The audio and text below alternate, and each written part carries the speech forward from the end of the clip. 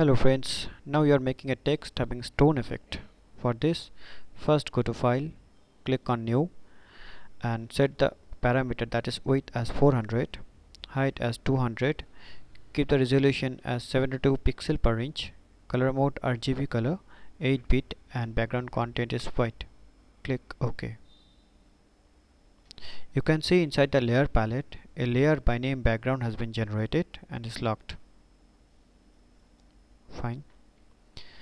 Now we need our text for this first go to horizontal type tool.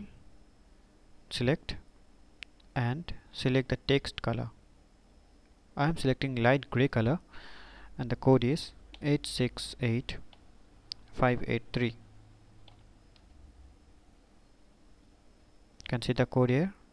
868583 click OK and type your text.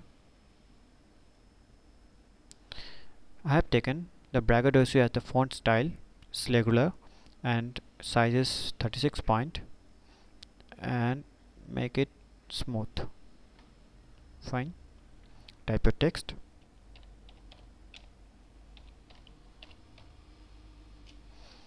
I have typed I TikTok.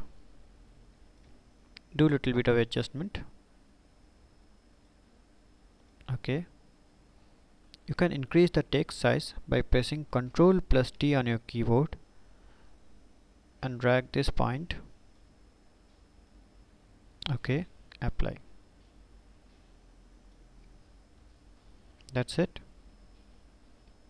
Now right click on the text layer and select rasterize type. And we have just rasterized our text. Now go to filter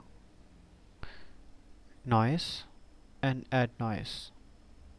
Here keep amount as 17% distribution is Gaussian and it's monochromatic.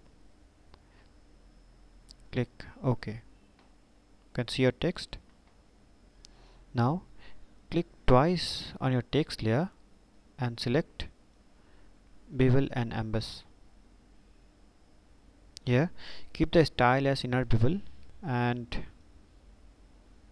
change the technique as chisel hard depth take 405 and size 7 keep rest of the thing as it is and click ok. You can see your text now. Again double click on your text layer and select texture. Okay you can see your text has been convert it to a stone effect. And again double click on your text layer and select drop shadow for the final step. Click OK.